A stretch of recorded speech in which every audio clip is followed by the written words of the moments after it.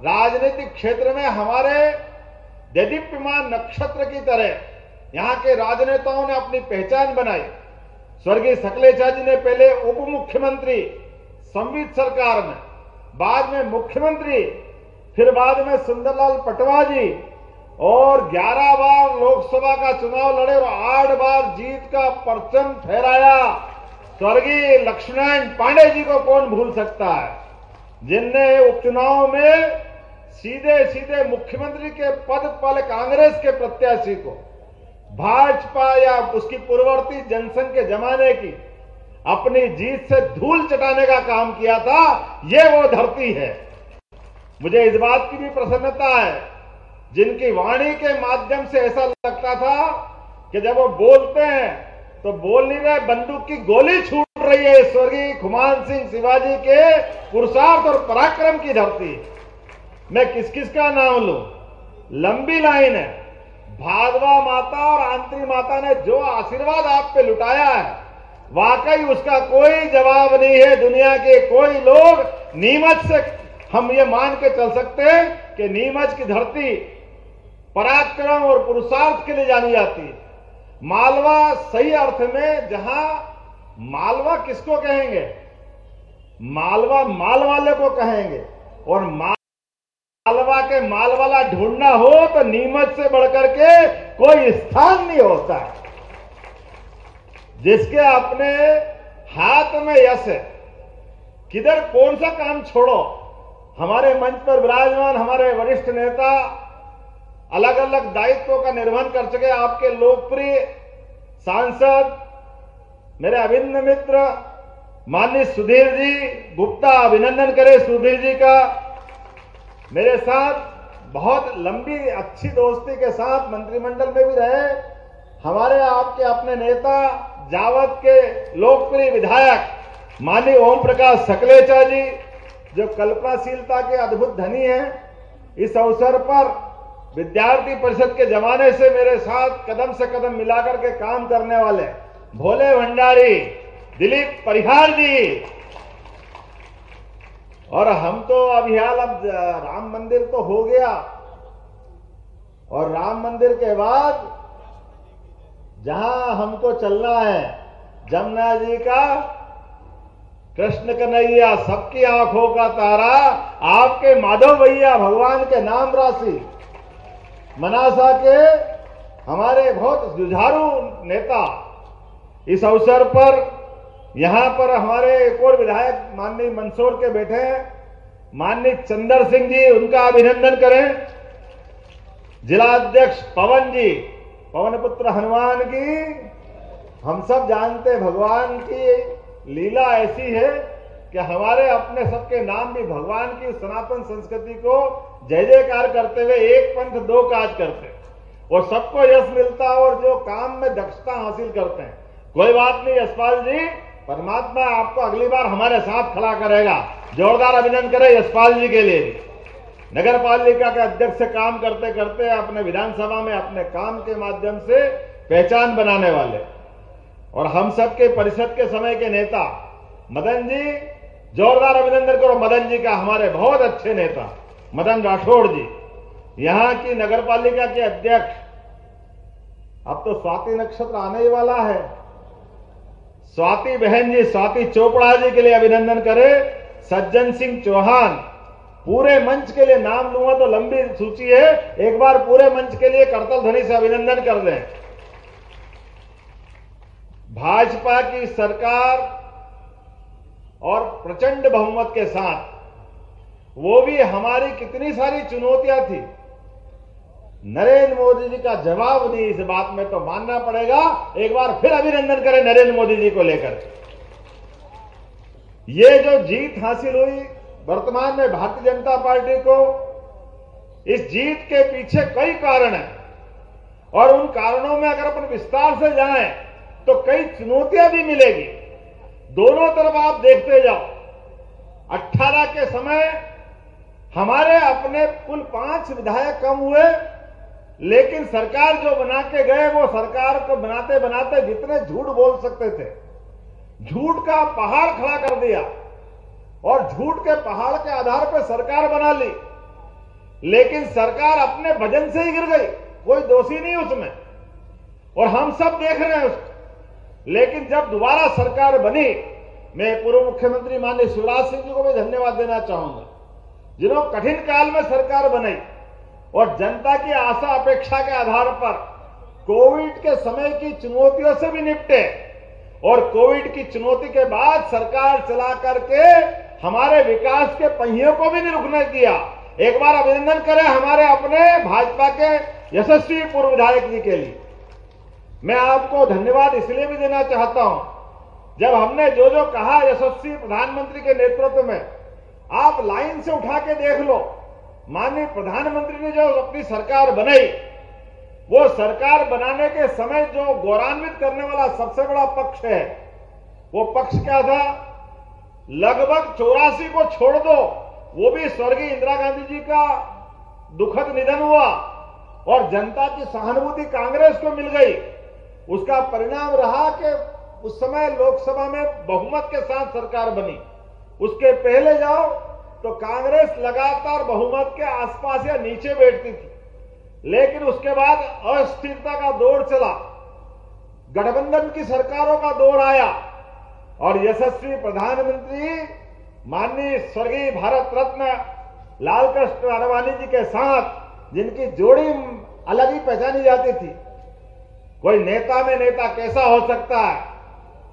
स्वर्गीय अटल बिहारी वाजपेयी की सरकार मैं उनको भी स्मरण करूँगा। जिन्होंने हमारे लोकतंत्र के अंदर जो मूल ज़रूरत थी, ये ग्रामीण क्षेत्र का जिला है, बड़े पैमाने पे औषधि की खेती करते हैं, लेकिन गाँव में मनुष्य नहीं रहते दुर्भाग्य के साथ कहना पड़ रहा है कि कांग्रेस ने सैतालीस से सरकार बना करके, जब तक कि अटल जी की सरकार नहीं आई, गाँव वालों को सड़क भी नसीब नहीं होने दी। प्रधानमंत्री सड़क का रूप में बड़ा योगदान अगर किसी ने दिया है तो हमारे अटल बिहारी वाजपेयी जी की सरकार के माध्यम से मिला है। स्वर्गीय अटल बिहारी वाजपेयी ने कहा कि अगर भारत का विकास करना है तो भारत का विकास बगैर गाँव के विकास के संभव नहीं हो सकता। गाँव को छोड़ के कोई कैसे बढ़ सकता है? गाँव का विकास सच्चे अर्थों में भारत का विकास है। और जो अटल जी सोचते थे, वही स्वर्गीय महात्मा गांधी जी ने कहा है। भारत को समझना तो भारत के गाँव को समझना होगा। भारत के गाँवों में भारत की आत्मा बसती है। लेकिन बड़े दुर्भाग्य के साथ कहना पड़ रहा है, महात्मा गांधी जी की बात को भी कांग्रेस के लोगों ने स्मरण नहीं किया। महात्मा गांधी ने तो प्राण भी छोड़ दिए तो हे राम करके ही छोड़े। राम राज्य की कल्पना करने वाले महात्मा गांधी पूरे देश के अंदर सद्भाव की बात करते थे। लेकिन बड़े दुर्भाग्य के साथ कहना पड़ रहा है कि हमारी सनातन संस्कृति को भी लज्जित करने का काम किसी ने किया है तो तत्कालीन और पूर्ववर्ती समाज सभी सरकारों ने किया है। यद्यपि मेरी मर्यादा है, लेकिन फिर भी मैं बोलना चाहूँगा, जब बदला समय और नरेंद्र मोदी जी का समय आया और नरेंद्र मोदी जी ने जिस ढंग से पूरे देश के सामने विषय रखा है कि देश को आगे बढ़ाना है इक्कीसवीं सदी में भारत को मज़बूत बनाना है। अपने इस बदलते दौर में भारत की ताकत का सही उपयोग करना है। तो कांग्रेस की नकारा सरकार को हटाना पड़ेगा। कांग्रेस के कुशासन की नीतियों को बदलना पड़ेगा। जनता को साथ में लेना पड़ेगा। पूर्ण बहुमत की सरकार बनाना पड़ेगी। और जिस प्रकार से मोदी जी ने बात करी, मुझे इस बात की गर्व से कहना पड़ेगा। आप विश्लेषण करिए। 2014 की सरकार बनी और पहली बार पूर्ण बहुमत की भाजपा की सरकार बनी, जिसके माध्यम से मोदी जी ने पूरे देश में तो क्या, दुनिया में एक नया रूप देख करके सबको एहसास करा दिया। वो रिज़ल्ट कैसा आया था? मायावती, मुलायम सिंह जी, तमाम विपक्ष के नेता पलट पलट के देखते रहे कि रिज़ल्ट आया तो आया कैसे, ये हो कैसे गया? क्योंकि जब जोड़ के चलते थे, वो इस दल के लोग हो या उस दल के, ये माइनॉरिटीज के वोट, ये गरीब के वोट, ये इस जाति के वोट, ये उस जाति के वोट, उनका समीकरण उसी के आसपास चलता था। और दुर्भाग्य के साथ कहना पड़ रहा है, जनता भी परेशान थी। कभी राम जी को पूछोगे, कभी इसको पूछो, उनके चक्कर में वो जैसा चलाते चल जाते थे। लेकिन प्रभु राम जी की जय जयकार करने वाले लोग सच्चे अर्थों में जब आए उनने कहा कि देश की जो जो परेशानी है एक एक परेशानी का निराकरण करेंगे। इसलिए वो पाँच साल नरेंद्र मोदी जी के जो निकले, वो पाँच साल में भारत सशक्त बनेगा।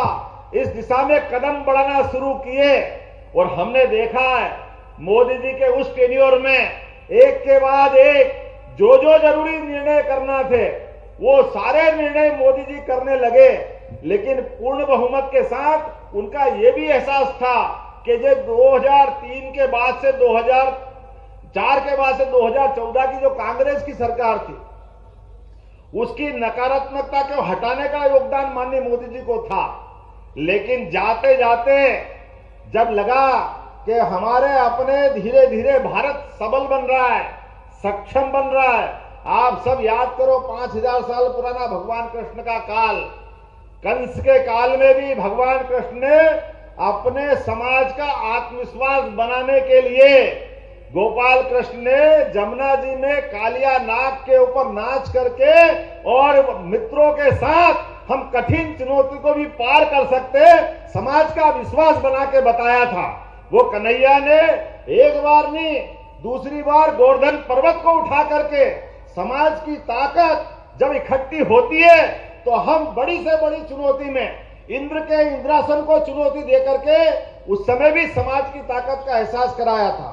इसी प्रकार से नरेंद्र मोदी जी ने हमारी बॉर्डर पर जो पड़ोस के दुश्मन हमारे सैनिकों का सर काट के ले जाते थे, आतंकवादी घटना होती थी, इन घटनाओं का मुँह तोड़ जवाब देते देते जो बताया वो सर्जिकल स्ट्राइक वो एयर स्ट्राइक पूरा देश नरेंद्र मोदी जी को सिर आँखों पे उठा करके 2019 के प्रचंड बहुमत के साथ फिर सरकार में लाया। और दूसरी बार सरकार में जैसे ही आए मोदी जी तो जो हमने उन्नीस सौ इक्यावन में कहा था कि जवाहरलाल नेहरू जी, ये आप बहुत गलत कर रहे हो, ये धारा 370 ये देश का दुर्भाग्य साबित होगी एक देश में दो निशान, दो विधान, दो प्रधान, ये नहीं चलना चाहिए। लेकिन दुर्भाग्य के साथ तब उन बात का मखौल उड़ाया गया था। लेकिन धन्य है डॉक्टर मुखर्जी, जिनने कहा कि जो मैं कह रहा हूँ, वो सत्य है। चाहे मेरे प्राण चले जाए, लेकिन मैं देश के ऐसे मामलों को अवॉइड नहीं कर सकता हूँ। भारत सरकार के मंत्रिमंडल में से इस्तीफा दे करके अपने प्राणों की आहुति दे करके जो देश के सामने उदाहरण पेश किया, वो परिणाम हमने देखा कि उस समय बताई गई चुनौती, चालीस हज़ार से ज़्यादा देशभक्तों को कश्मीर की आतंकवादी घटना में, चाहे पुलिस के कर्मी हो, चाहे सैन्य कर्मी हो, चाहे नागरिक हो, सबको अपने प्राणों की आहुति देना पड़ी। ये पाप किसके माथे है? ये कांग्रेस के माथे है। और मुझे इस बात का गर्व है, जैसे ही दूसरी बार सरकार बनी जो हमने कहा था, वो करके दिखाया, कश्मीर को धारा 370 से मुक्त करके दिखाया कि ऐसा पाप ये चल नहीं सकता। है कश्मीर तो केसर की क्यारी। पर्यटकों की दृष्टि से दुनिया का सबसे अच्छा केंद्र है। ऐसे कश्मीर स्वर्ग का टुकड़ा माना गया। तो उसको मुक्त कराने के लिए कौन रोक सकता था? लेकिन ज़रूरत थी नरेंद्र मोदी नर बहादुर जी की, जिनके कारण से ये हमको गर्व और गौरव मिला। हमारी सरकार में कितना दम होता है, इसका निर्णय हमने देखा। आप याद करो, धारा 370 के बाद सुप्रीम कोर्ट ने फैसला दिया, भगवान राम का। बोला, जय जय श्री राम और जय जय श्री राम का नारा लगाने से हमारे अपने उस अंतरंग संबंध तक जुड़ जाते हैं, जो राम राज्य की कल्पना करते हैं, राम राज्य की कामना करते हैं। मुझे इस बात की प्रसन्नता है, सुप्रीम कोर्ट ने फैसला दिया भगवान राम का। लेकिन सुप्रीम कोर्ट ने फैसला तो तीन तलाक का भी दिया था, मुस्लिम बहनों की इज़्ज़त का भी। तब भी पूर्ण बहुमत की सरकार थी, लेकिन उस पूर्ण बहुमत की सरकार में कलेजा नहीं था, दम नहीं था। इसलिए उस निर्णय को लागू नहीं करा पाए। लेकिन इन बहादुर ने अपने भगवान राम के फैसले को भी लागू करके दिखाया कि जो सरकार चाहती है, सरकार में दम होना चाहिए। जिसपे इतनी बड़ी बहुसंख्यक आबादी भरोसा करती है